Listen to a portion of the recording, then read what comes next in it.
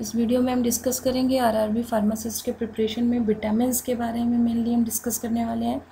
वैसे तो विटामिन के बारे में आरआरबी फार्मासिस्ट के अलावा बहुत सारे एग्ज़ाम से पूछा जाता है लाइक जी पैट एंड बहुत सारे कॉम्पिटिशन्स में भी इसके बारे में पूछा जाता है।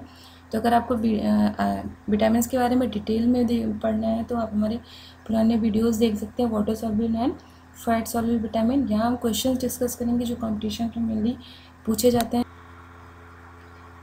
तो पहला क्वेश्चन है protein vitamin not found in any animal food कौन सा कौन सा ऐसा विटामिन है जो एनिमल फ़ूड में नहीं मिलता है? तो जो हमारा विटामिन सी है, वो मैक्सिमम फ्रूट से मिलता है। हमारे, जो भी, और भी चीज़ें हैं एनिमल सोर्स से नहीं मिलता है। तो इसका आंसर है vitamin C scientific name of vitamin B one B one का साइंटिफिक नेम क्या है?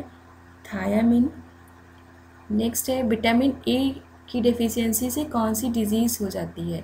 इसकी जो आंसर है नाइट ब्लाइंडनेस कहीं कहीं आपको ऑप्शन में कलर ब्लाइंडनेस भी दिया होगा, उसके साथ नाइट ब्लाइंडनेस भी दिया होगा।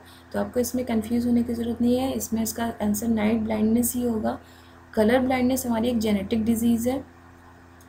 Chemical name of vitamin C and D vitamin C का केमिकल नेम है ascorbic acid and vitamin D का जो केमिकल नेम है या साइंटिफिक नेम है, वो है कैल्सीफिरॉल विटामिन डी का भी साइंटिफिक नेम याद करने का सबसे अच्छा तरीका है कि जो विटामिन डी है, वो क्या होता है, हमारी बोन्स के लिए इंपॉर्टेंट है, हमारी जो बोन्स है, वो कैल्शियम की बनी हुई है.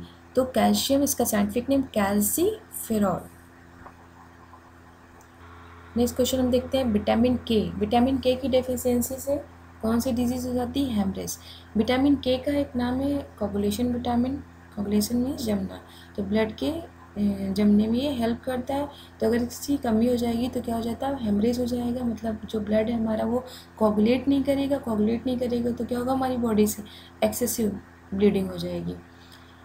पर्नीसियस एनीमिया किस विटामिन की वजह से होता है? या किस विटामिन की कमी से होता है? Vitamin B twelve vitamin E का सबसे अच्छा सोर्स क्या है? फ्रेश वेजिटेबल्स नेक्स्ट क्वेश्चन है glossitis glossitis is caused by glossitis अभी हमने बताया था, जो लिप्स और के राउंड क्या हो जाता है? फिसर्स हो जाते हैं। सॉरी ग्लाइसाइटिस में क्या होता है? हमारा जो टंग होती है, वो सॉफ्ट हो जाती है स्मूथ हो जाती है और पर्पल कलर की हो जाती है।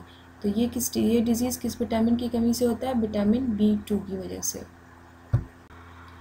नेक्स्ट से scurvy disease is caused by इसका आंसर है vitamin C vitamin B six का scientific name pyridoxine next question है फैट सॉल्वेबल विटामिन कौन कौन से हैं? Vitamin A D E K and water soluble vitamin vitamin B complex and vitamin C. तो अगर इसका ऑप्शन में आंसर दिया हुआ vitamin B and C and vitamin B complex and C तो आपको टिक करना होगा vitamin B complex and C.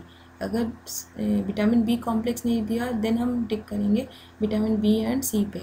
Cardiac failure किस विटामिन की डिफिशियंसी से होता है? विटामिन बी वन की। एंटी स्टेलिटी विटामिन किसे कहते हैं? विटामिन ई e को। विटामिन सेवन का को एक दूसरे नाम से जाना जाता है, vitamin H thank you if you like my video subscribe it subscribe it and do not forget to press bell icon to get more videos.